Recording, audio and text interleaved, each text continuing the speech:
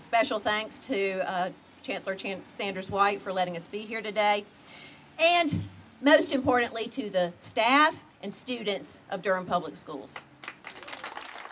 Thank you all so very much for being here with us. In two weeks' time, our year-round schools will welcome their first students of the 2014-15 school year. And all of our other schools will follow suit in August. With some 33,000 students soon to be walking through our halls, this is an exceptionally busy time of year. Our new superintendent must hit the ground running, and I know Dr. L'Homme is ready to do just that. Dr. L'Homme is particularly well suited to tackle some of the toughest issues facing our district. At the state level, there are budget fights in Raleigh and multiple pieces of legislation that threaten to undermine our teachers and our public schools.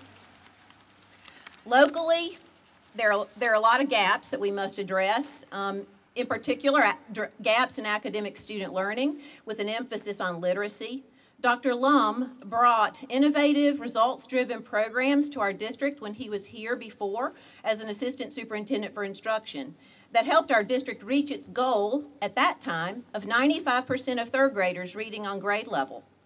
We also face the challenge of ending disparities in student discipline and out-of-school suspension.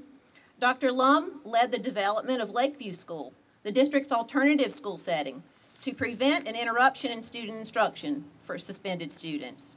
We need to strengthen Lakeview, keep students on track academically, modify behavior, address underlying causes of behavior, and reduce out-of-school suspension, all without lowering standards for student behavior.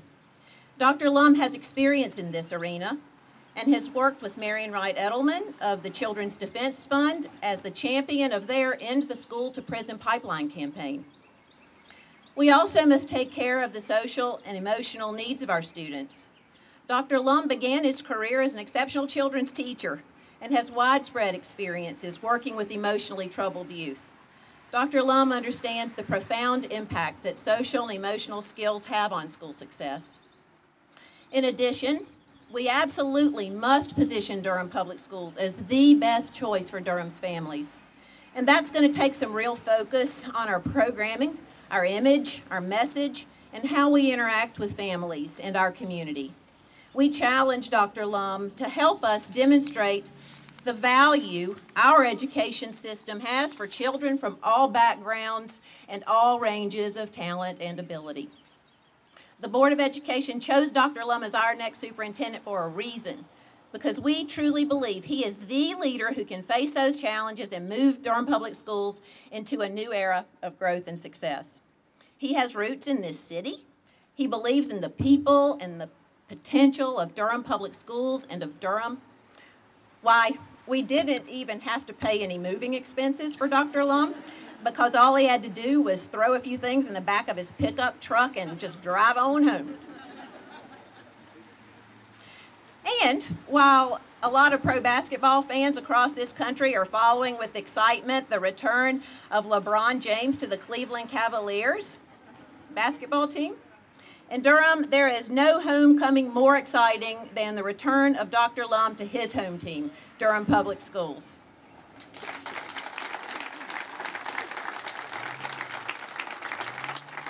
Bert has ex extensive experience in this district as an assistant superintendent of curriculum and instruction. In fact, he was here when J.D. Clement Early College High School, where we are standing this morning, was first conceived. And look how far they have come. For the second year in a row, our preliminary results indicate that high, early college high school will have a 100% graduation rate.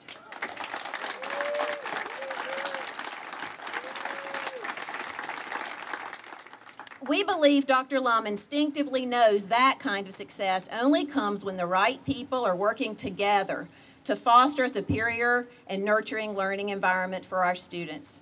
He is an inclusive, respectful leader.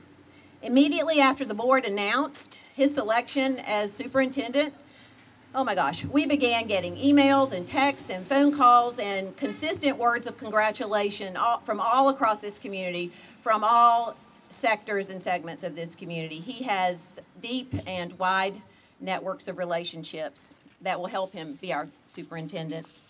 That spirit of collaboration is another reason why we chose Bert. Because as passionate as he is about education, he is equally passionate about restoring trust and partnerships among our staff and beyond. He understands the value of working as a team of equals and can advance a we're in this together culture in our schools district and ideally in our community. For the city of Durham to fully realize its renaissance, our citizens must have individual and collective confidence and ownership of our public schools. Let me thank all of our board members, past and present, who stepped up to the task of selecting a new superintendent with determination and resolve. I also want to thank our entire community, parents, guardians, teachers, staff, volunteers, citizens, who shared your thoughts with us about what you thought we needed in our next superintendent. I believe we heard you, and I believe we got it right. True to his name, Bert is the man.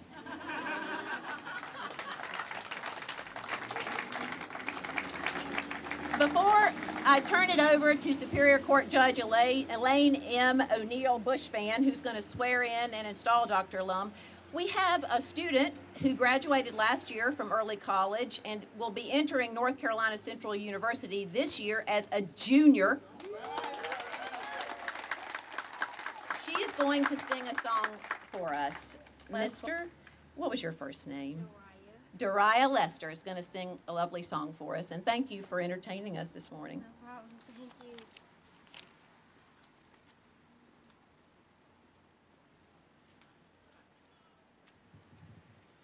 I wanna leave my footprints on the sands of time.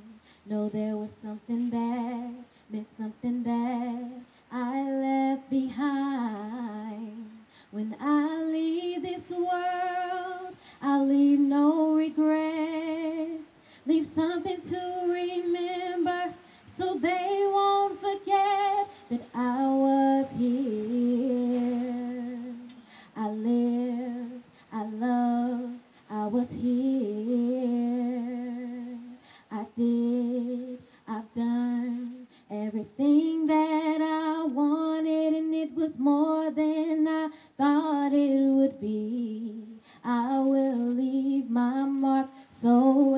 everyone will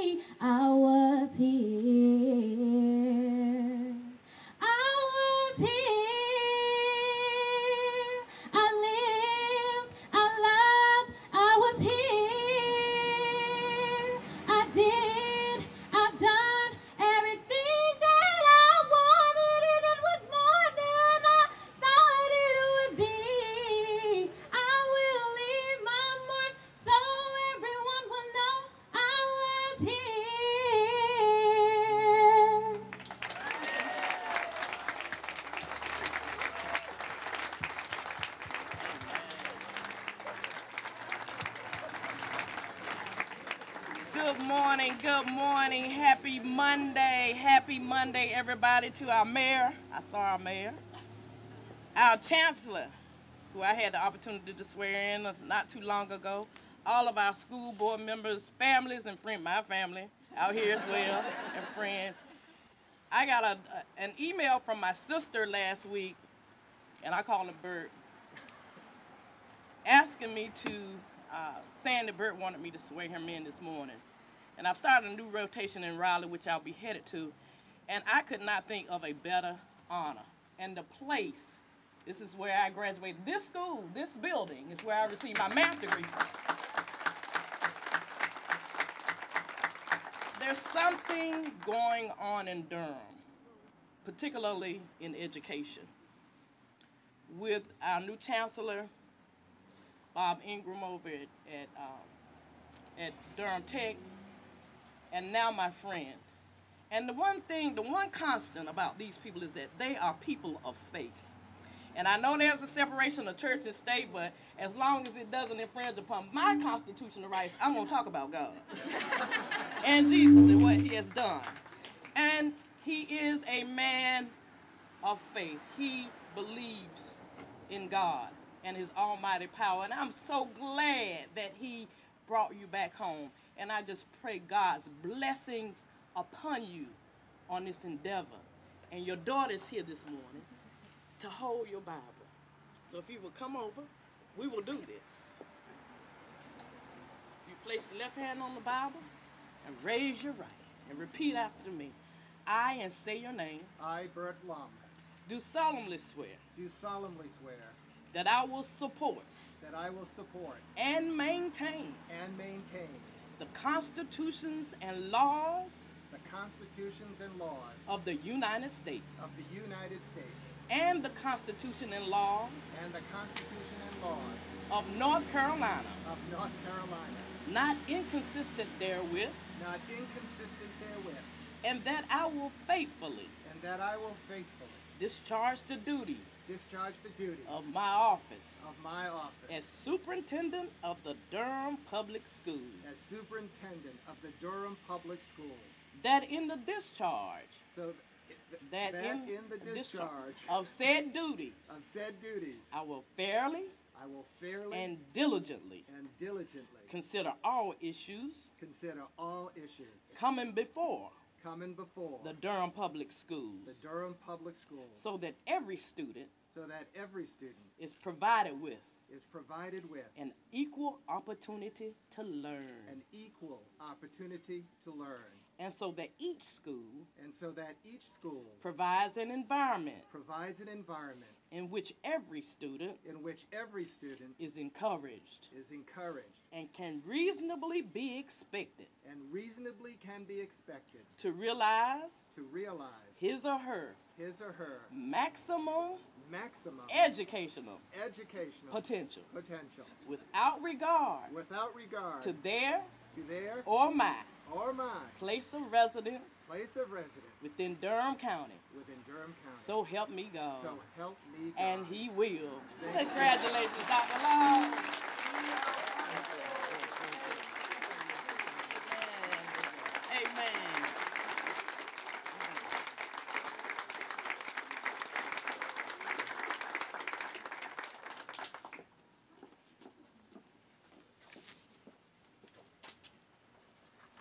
There's, um, this is not part of my comments, but after Judge O'Neal, and thank you, Judge O'Neal, for uh, coming today and administering to me the oath of office. And coming here to Washington, having been the superintendent of the Archdiocese of Washington Catholic Schools, we do a lot of praying. And um, they said, well, Bert, you're not going to be able to pray when you get to Durham. And I said, you're wrong. we do a lot of praying. Chairman Carter, members of the board, Judge O'Neal, invited guest, uh, Mayor Bell, Chancellor, especially our students, uh, teachers, principals, parents, administrators, Durham Public Schools.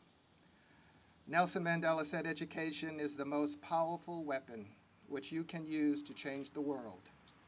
And on the Durham Public Schools website, it says, Our goal is that every student will graduate prepared for career, college, and life. Our students are going to succeed in all walks of life, from community college to university to the armed forces and straight into the workforce. In Durham Public Schools, we recognize that each student has unique needs and strengths and goals, and we help each student find their way so that they can say, I'm ready. More simply stated, the goal is every student who walks across the stage at graduation is prepared to follow their dream. No student should ever have to settle for less. We know that the dream is as diverse as the 33,000 students who attend our schools. We know that achieving this goal, realizing this dream is not magic and there are no easy answers, but we do know how to achieve the dream. And I believe that we have the necessary tools to accomplish this task. We have parents who are determined that their children receive the very best education. We have talented teachers and dedicated teachers, and administrators who readily go the extra mile. We have a community that will make it happen.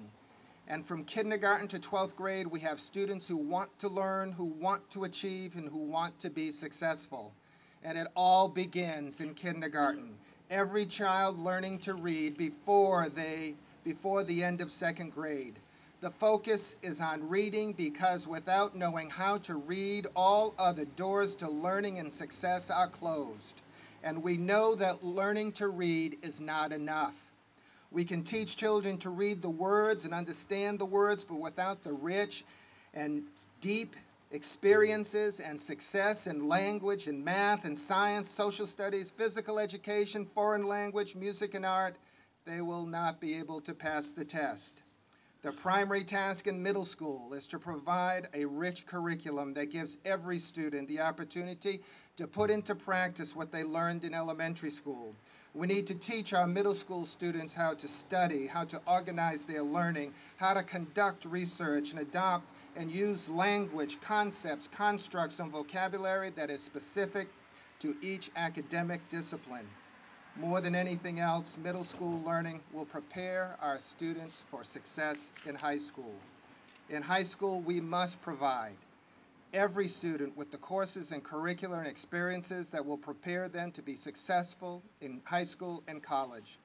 This has to happen in every one of our high schools, from Jordan to Northern to Lakeview to the City of Medicine Academy. And how will we know we will succeed? Parents will know. It's when their children are thriving, learning, and preparing for adulthood in a safe school. Teachers will know when their students are fully engaged authentically engaged in their learning. Teachers will know when they evaluate their students every day and at the end of the term. And how will we know? Student achievement will increase. Graduation rate will increase. Suspensions will decrease. Dropout rate will decrease. We are on the steps of the Josephine Dobbs Clement Early College High School. This high school is testament to what the community can do to ensure that all students graduate from high school prepared. This high school is testament to the fact that our students, no matter what community or neighborhood they come from, are bright, motivated, and determined to succeed in high school, college, and career. I want to thank the Board of Education for bringing me on board. You made it possible for me to realize my dream. During the selection process, someone said to me, if you don't get to be the superintendent in Durham, there are several other superintendencies in the area that are vacant. And I said, no, not for me. Durham Public Schools is where I want to be. This is my community and this is my home. I know I'm not from here. My accent is a little strange to some, but I'm Durham by adoption. And as my colleague once said to me, you're not from here, but you ought to be. So I want to thank everyone for coming out this morning, and I look forward to working with you. There's uh, the word that I've heard in several different places in the last couple of days is there's a renaissance in Durham, and Durham Public Schools is going to be part of that renaissance. Thank you.